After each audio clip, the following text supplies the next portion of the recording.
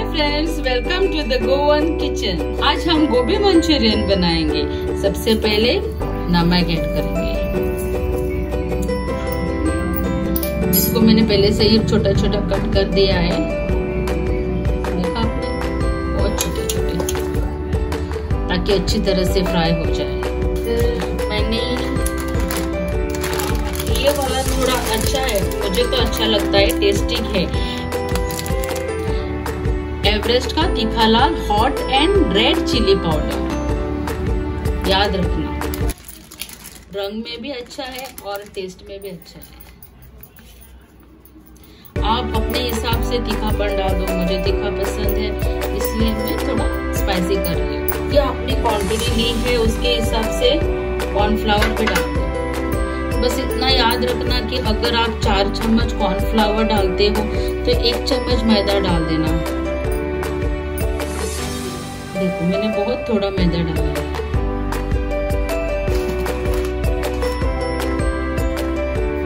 अब इसको अच्छी तरह से मिक्स करना है। अगर पहले देखो, अगर पानी नहीं है तो ये डाल देना। क्योंकि तो इसमें बिल्कुल भी पानी नहीं है।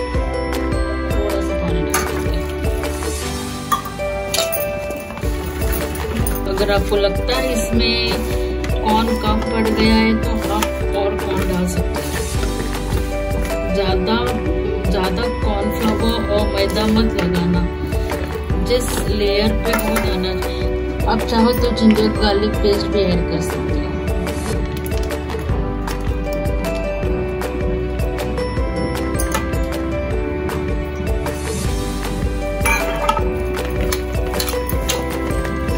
अब इसे लगा के बस दो मिनट के लिए रख देना।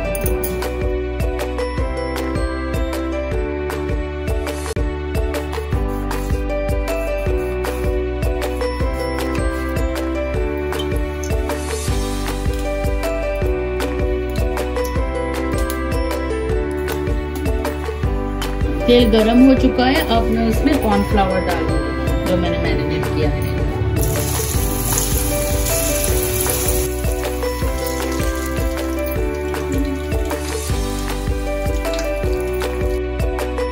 तब तक फ्राई करना, जब तक उसमें से गोभी फ्राई का स्मेल आ जाए। जब गोभी फ्राई का अच्छा स्मेल आ जाएगा ना, तब समझ लेना कि आपकी गोभी फ्राई हो चुकी है। अगर आपको स्मेल नहीं आ रहा है ना तो समझ लेना आपके हेल्थ में डाउट है। Stop it. Get some help. हाँ दोस्तों ये देखो मेरी गोभी अच्छी तरह से फ्राई हो चुकी है और काफ़ी क्रिस्पी भी लग रही है।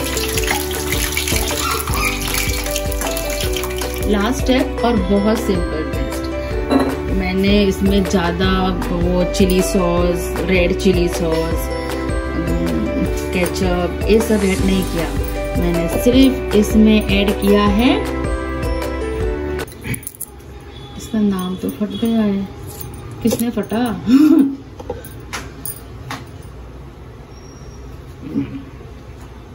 Okay okay okay.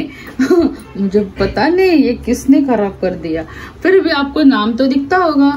ये देखो हॉट एंड मैंने इसमें सिर्फ़ मैंने इसमें मैंने उसमें सिर्फ़ hot and sweet Maggi add किया है। मैगी का hot and sweet sauce add किया है। जो मैंने कॉर्नफ्लावर फ्राई किया था ना मैं वही तेल रही हूँ। जो कॉर्नफ्लावर फ्राई किया हुआ तेल ना वही ले लेना। जितना आपकी क्वांटिटी है आप उतना ले लो। और अब इसमें ये ऐड करो स्प्रिंग ऑनियन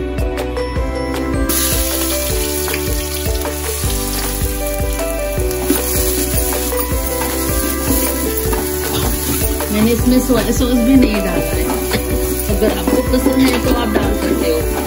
और कॉर्न का पानी तो बिल्कुल मत डाल देना। अगर कॉर्न का पानी पानी डालोगे तो उसमें जो क्रिस्पीपन होता है वो चला जाएगा। ऑनियन को ज़्यादा फ्राई करने की ज़रूरत नहीं है। बस एक दो सेकंड के लिए। ये देखो, हमारा ऑनियन जिस वक्त गर्म ही हो चुका है। अब मैं इसमें सॉस ऐड कर रही हूँ हॉट एंड स्वीट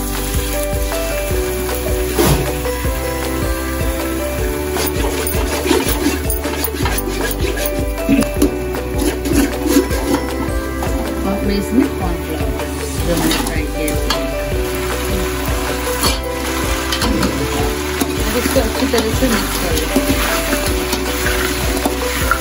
सॉस भी अपने टेस्ट के हिसाब से ही डाल दें।